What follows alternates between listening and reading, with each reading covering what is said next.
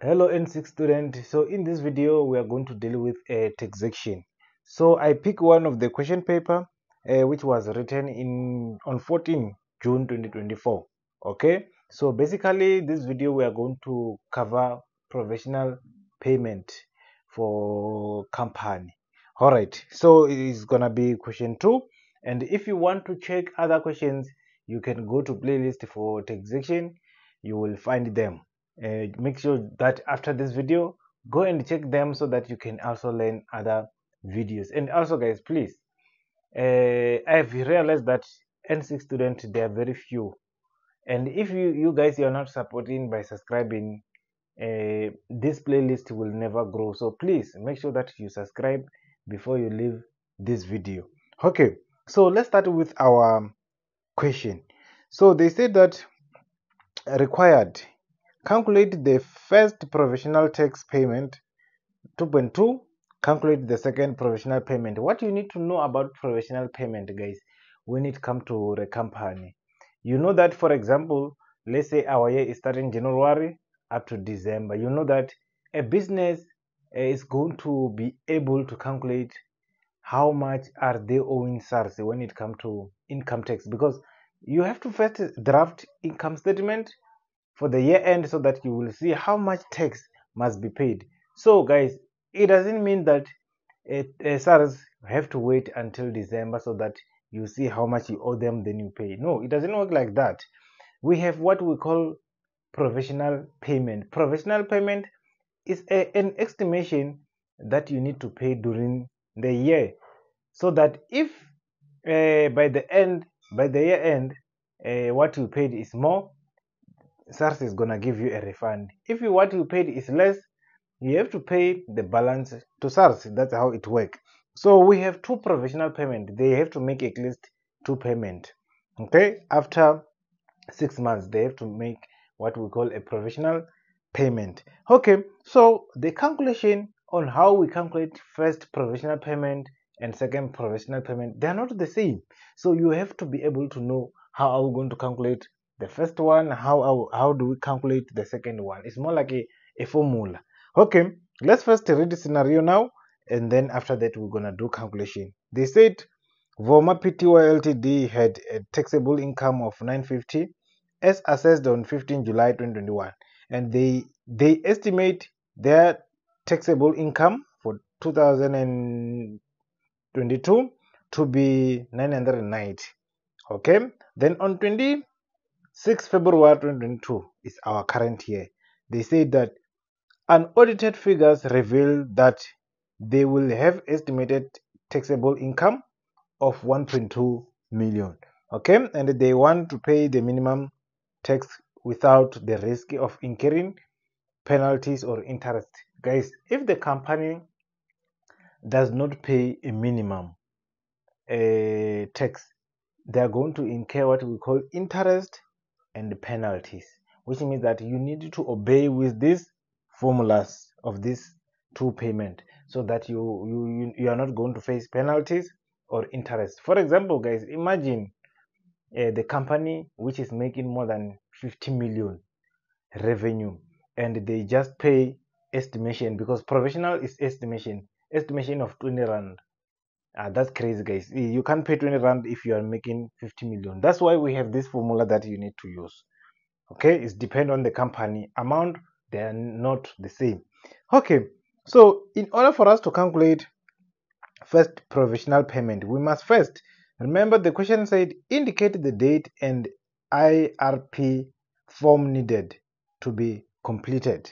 Okay now because our year is ending 28 february 2022 which means that the first one will have to be made uh, after six months from beginning of our year. Our year, if it start, it's ending 28 February 2022, which means that it started 1 March 2021. If you count from 1 March 2021 uh, up to six months, it's gonna give you uh, this date. The first payment will be 31 August. If you count from March, March, April, May, June, July, August is going to give you 6.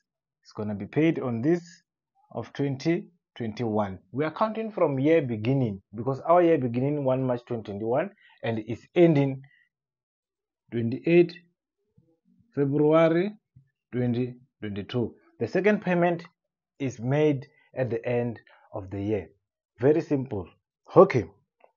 Now, there was a two marks allocated here and two marks allocated here. And one mark is to name which form is IRP6. IRP6 is the one that you need to to fill. So already six marks just to mention this without any calculation. Okay, so the basic amount that we are going to use for first provisional payment, it must be the amount of last year. We, we, we have to calculate using the estimation of amount of, of the previous year. Okay, if you check on our question paper, they said Voma Pty Ltd has taxable income of 950 as assessed on 15 July 2021. Okay, basic amount uh, it was 950,000 and you know that tax for company uh, is 28% which means that we have to punch 28% of this amount. Okay uh, 950 multiplied by 28 percent. It's gonna give you 266,000 but this is not what is going to be paid. Remember uh, this 950 is estimation of the full amount. So which means that this one it can't be we can't pay full amount and pay full amount again. We have to pay half of it which means that we have to divide by 2 okay then we're gonna say 266,000 divided by 2 if you don't want to divide by 2 you can just say 6 over 12 because it's 6 months. 6 over 12 is gonna give you the same thing.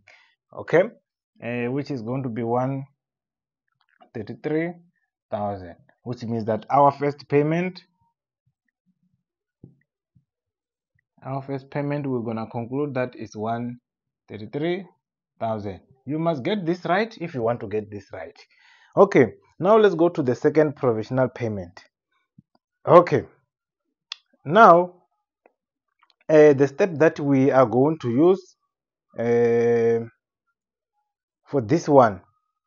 A second provisional payment which is going to be made on 28 February 2022 we have to make sure that it's reaching the minimum because they, they say they want to pay the minimum of what is required so that they won't get what a penalties all right. So our minimum uh, this is how we are going to to, to, to, to, to, to, to pick it up. Remember we have been given the estimation of this year of 1.2 million. Okay. Now we have to choose the lower